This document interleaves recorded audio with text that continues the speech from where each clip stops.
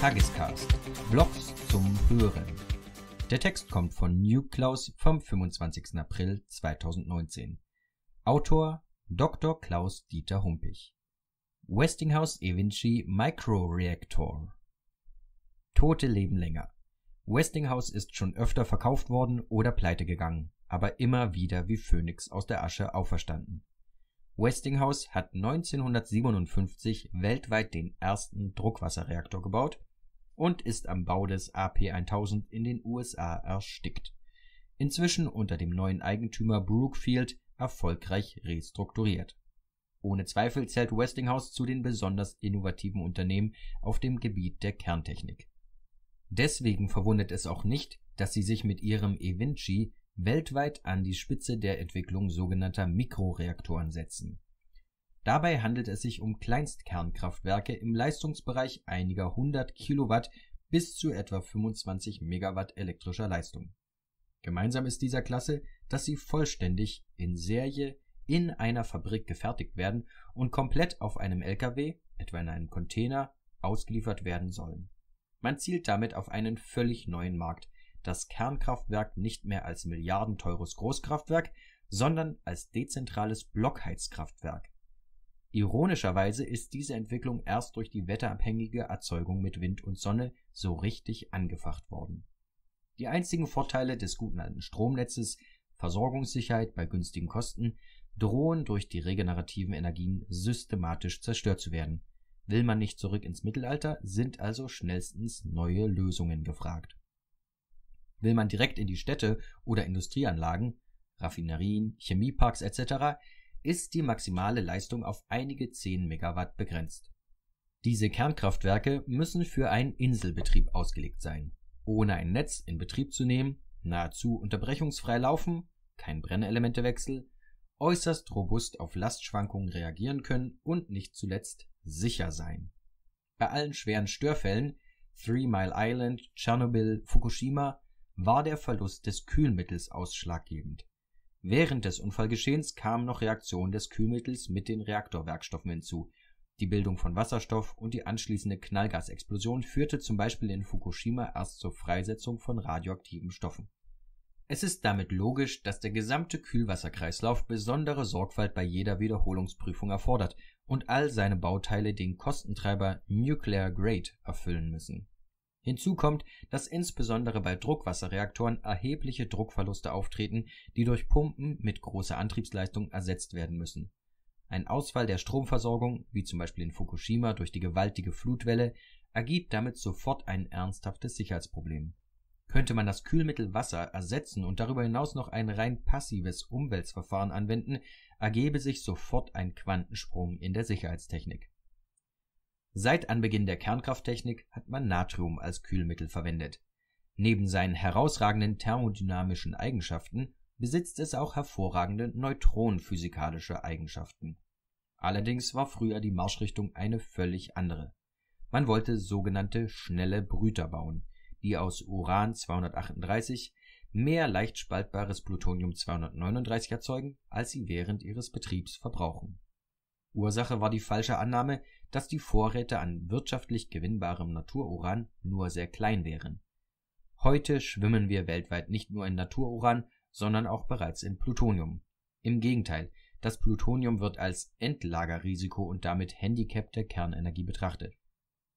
Strebt man einen schnellen Brüter an, muss dieser ein möglichst großes Volumen haben, und daraus ergibt sich automatisch eine große Leistung. Schon muss man wieder die gleichen Sicherheitsprobleme wie bei einem Druckwasserreaktor lösen und stets im Griff behalten. Großes Kühlmittelvolumen, das auch noch zum Abtransport der Wärme ständig umgepumpt werden muss und unter keinen Umständen verloren gehen darf. Will man jedoch nur einen Reaktor kleiner Leistung bauen, kann man dieses Problem geschickt umschiffen. Beim eVinci wird der Wärmetransport vom festen Kern zum Arbeitsgas durch Wärmerohre bewerkstelligt Wärmerohre sind Metallrohre mit einem Docht versehen, die teilweise mit einer Flüssigkeit gefüllt sind und anschließend gasdicht verschweißt werden. Das mit Flüssigkeit gefüllte Ende steckt in der Wärmequelle, dem Reaktorkern, und das mit Dampf gefüllte Ende in der Wärmesenke, das Arbeitsgas. Die Flüssigkeit im Rohr wird nun kontinuierlich verdampft, breitet sich im Rohr aus und kondensiert am gekühlten Ende. Dort bildet sich ein Flüssigkeitsfilm, der durch die Kapillarwirkung im Docht wieder zum heißen Ende zurückströmt. Das Wärmerohr ist also stets mit Sattdampf gefüllt und besitzt dadurch annähernd die gleiche Temperatur an beiden Enden.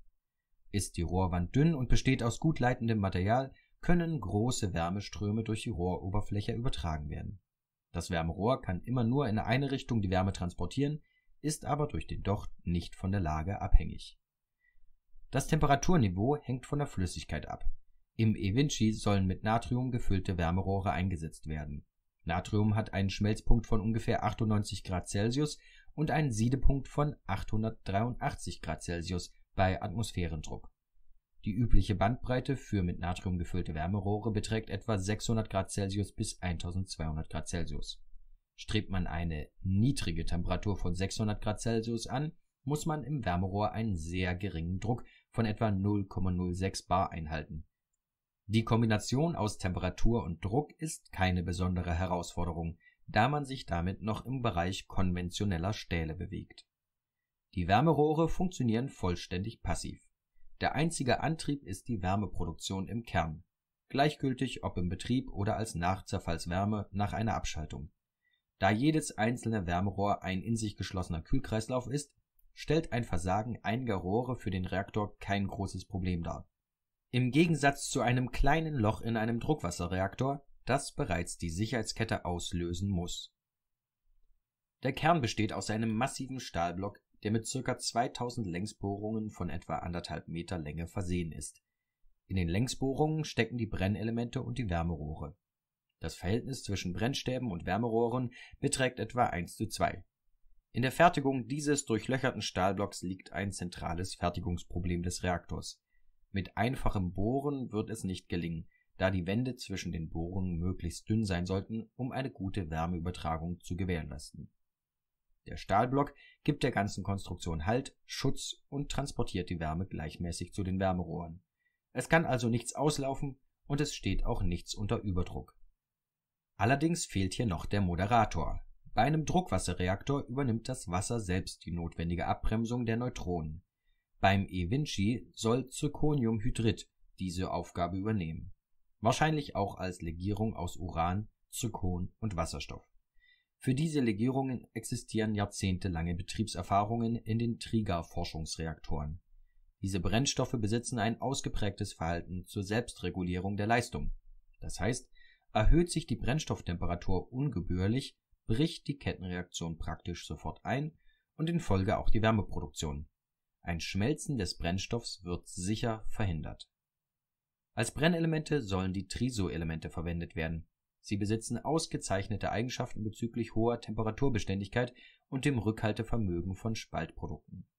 Erinnert sei nur an die 20-jährige Erfolgsgeschichte des Kugelhaufenreaktors in Jülich. Unzählige Versuche in Deutschland und China haben die Walk-Away-Sicherheit nachgewiesen. Dieser Brennstoff kann auch nach schwersten Störfällen, wie zum Beispiel in Fukushima, nicht schmelzen und damit größere Mengen radioaktiver Stoffe freisetzen Allerdings benötigt man bei solch kleinen Reaktoren höher angereichertes Uran als bei Leichtwasserreaktoren. Ferner wird hier das Batteriekonzept angestrebt.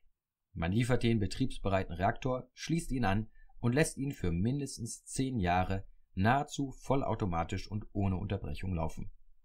Quasi ein Blockheizkraftwerk ohne Tankstelle. Durch die Wahl der Triso-Brennelemente ist man zukünftig sehr flexibel.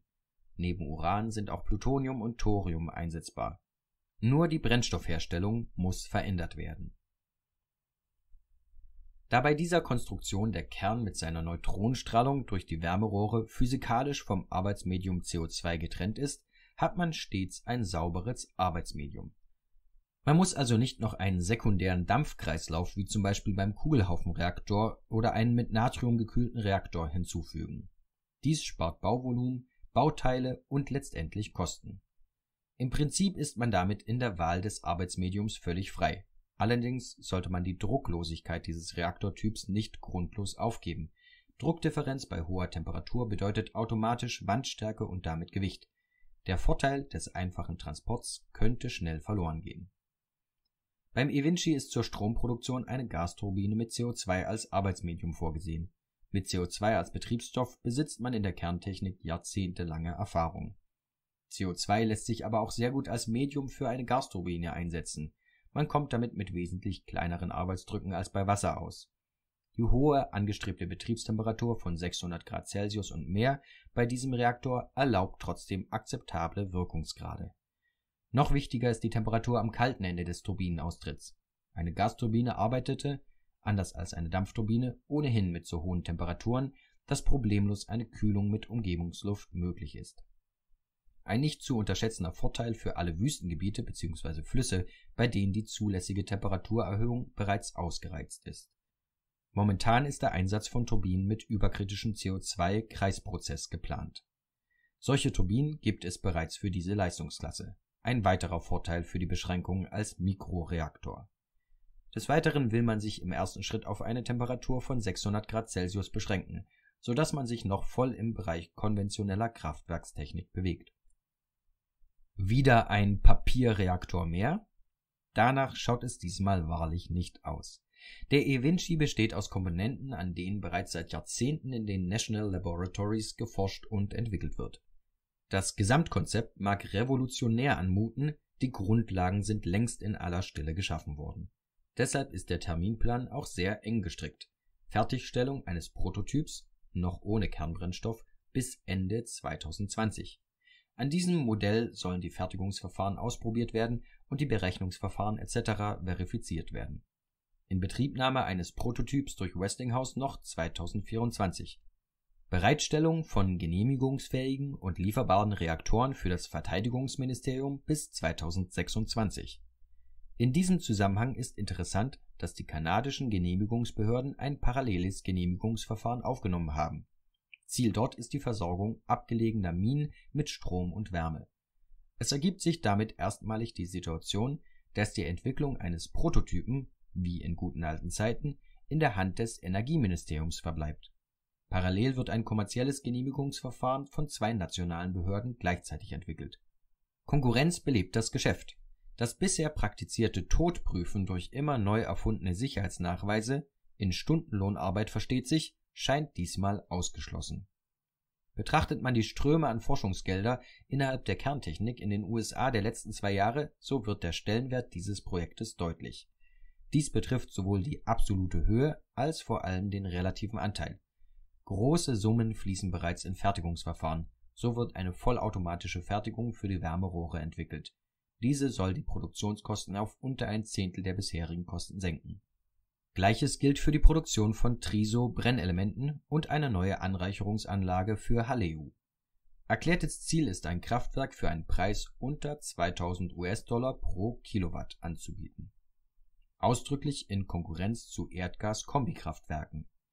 Diese Kraftwerke sollen innerhalb von 30 Tagen ab Auslieferung vor Ort einsetzbar sein. Sie sollen in Fabriken ähnlich den für Flugzeugtriebwerke in Serie gefertigt werden. Warum das alles? Man mag es gut finden oder nicht. Mal wieder scheint der Krieg Vater aller technischen Entwicklungen zu sein. Das US-Militär befindet sich mitten im Umbruch weg von der jahrzehntelangen Jagd auf irgendwelche Taliban mit Kalaschnikows und am Ende der Träume von der Friedensdividende aus dem Zusammenbruch der Sowjetunion. China wird immer aggressiver und Parallelen zum Japan der 1930er Jahre erscheinen immer beängstigender. Hinzu kommt der Potentat Putin mit seinen Eskapaden in Osteuropa und Syrien, der sich inzwischen als die beste Werbeabteilung der amerikanischen Rüstungsindustrie erweist. Man muss sein Geschwafel über seine Wunderwaffen nur wörtlich nehmen und schon hat man Vorlagen für neue Rüstungsprogramme. Im Rahmen der Umstrukturierung wird immer deutlicher, dass der nächste große Krieg voll elektrisch wird. Immer mehr Radaranlagen, immer mehr Datenverkehr, immer mehr Computer und sogar Laserwaffen. All dies erfordert immer mehr elektrische Leistung, möglichst nah an der Front. Diese Energieerzeugungsanlagen müssen aber ständig mit Treibstoff versorgt werden, was zusätzliche Kräfte bindet, besonders in den Weiten des Pazifiks. Ganz ähnlich ist die Entwicklung bei der Marine. Hinzu kommt dort die neuartige Bedrohung durch präzise Mittelstreckenraketen. Eine Antwort auf diese Bedrohung ist die Kombination aus klassischen Schiffen mit Roboterschiffen. Diese Schiffe machen aber nur Sinn, wenn sie ohne Besatzung quasi endlos über die Weltmeere ziehen können. Kernreaktoren bieten sich als Antrieb geradezu an, sind aber mit heutiger Technik nicht finanzierbar. Billige Mikroreaktoren wären eine Lösung. Immer wenn sich Militärs etwas in den Kopf gesetzt haben, bekommen sie über kurz oder lang ihre Wünsche erfüllt. Ganz besonders, wenn in breiten Bevölkerungskreisen eine Angst vor einer konkreten Bedrohung vorhanden ist. Dann spielen Kosten keine Rolle mehr. In den USA ist es schon immer Tradition gewesen, neuartige militärische Entwicklungen möglichst schnell in die zivilen Märkte überzuführen. Geheimhaltung ist sowieso nur beschränkt möglich, aber große Stückzahlen senken die Kosten. In diesem Sinne ist in der Tat mit dem schnellen Aufbau von Reaktorfabriken zu rechnen. Dies passt auch zum aktuellen Zeitgeist. Donald Trump ist mit dem Slogan angetreten, die Industriearbeitsplätze zurückzuholen. Er hat dabei sicherlich nicht an Nähereien für Hemden gedacht. Alle, die dies milder als populistisch abgetan haben, könnte das Lachen bald vergehen. Der Text wurde veröffentlicht auf www.nukeklaus.net